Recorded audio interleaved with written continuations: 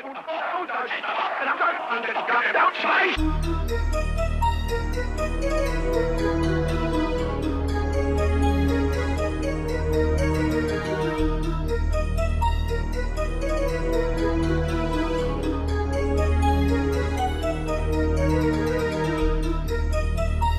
proud son of proud fathers, the feared and fearless me soldier of Armageddon.